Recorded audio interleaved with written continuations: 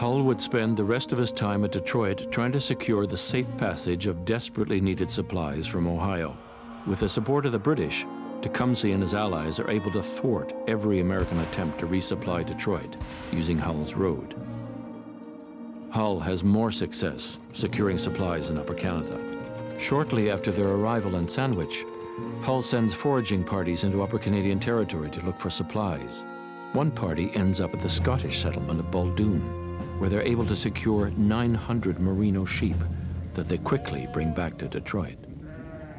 Hull's army is made up primarily of men from the Ohio militia, and his commanding officers are two eager Ohio colonels, Lewis Cass and Duncan MacArthur.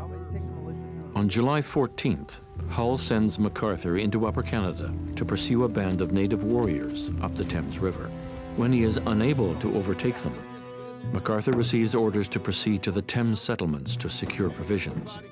MacArthur is a classic American character of the frontier. He's not a well-educated man, but he is a very forceful personality.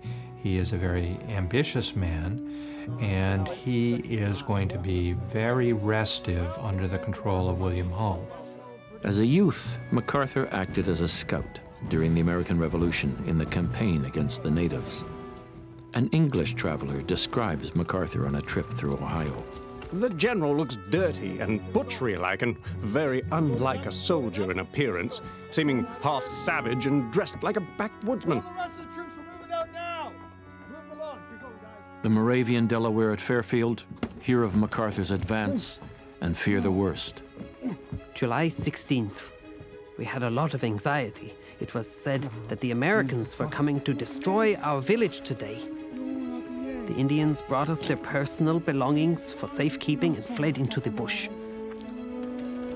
They built makeshift huts only to be driven out by the insects, which were dreadful beyond measure this year.